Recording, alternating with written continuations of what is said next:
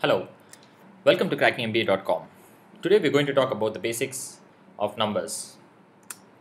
Numbers is one of the most important topics in CAT. It is a basis for a lot of other topics such as ratio and proportion, percentages, time and distance, and so on. So, although you may not be directly asked questions in numbers, you need to have very strong basics in it so as to be able to solve questions in a variety of other topics. Hence, it is essential that you have a very strong foundation in the basic concepts of numbers. Some of the key concepts that we'll talk about in this uh, session are natural numbers, whole numbers, integers, rational numbers, irrational numbers, and real numbers. National, uh, so here we have the Venn diagram which represents the hierarchy of numbers.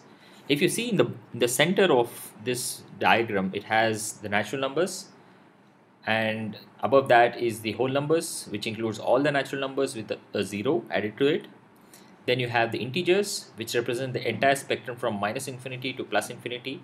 So you will notice that it, the integers also have 0 1 2 3 so on up to plus infinity which is which represents all the whole numbers. And above that you have the rational numbers and the irrational numbers.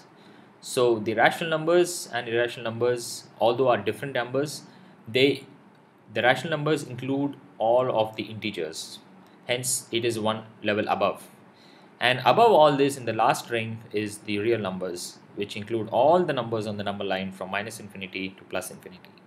So let's look at each one of them in detail. First starting with the natural numbers.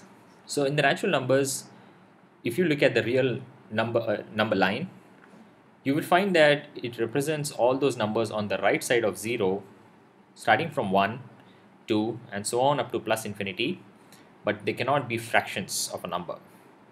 Hence 2.1 is a positive number but it is not a natural number. Other examples of natural numbers include 1, 2, 3 so on up to up to positive infinity. The next set is the whole numbers. This includes all the natural numbers along with the number 0. So it includes 0, 1, 2, so on up to plus infinity. So naturally, all natural numbers are a subset of whole numbers. So whole numbers include 0 and all the natural numbers such as 1, 2, 3 and so on. The next set includes integers. Integers include all the negative numbers and positive numbers including 0 which are represented on the number line and which are not fractions. So for example, 2.4 is not an integer Similarly, minus 1.4 is also not an integer. The other examples of integers include minus 4, minus 3, so on, 0 and 1, 2, so on up to infinity. Another thing to note is that in integers, you have all the numbers ranging from minus infinity to plus infinity and they cannot be fractions. So moving on, Next is the rational numbers. Rational numbers include all those numbers which can be represented in the form of p by q, where q is not equal to 0.